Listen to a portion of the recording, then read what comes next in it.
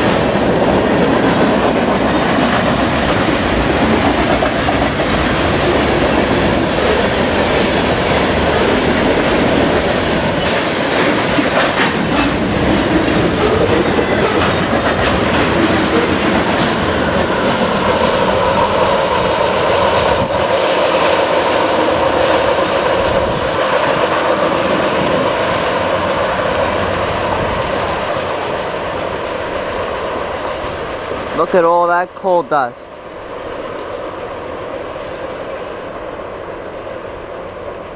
That was awesome.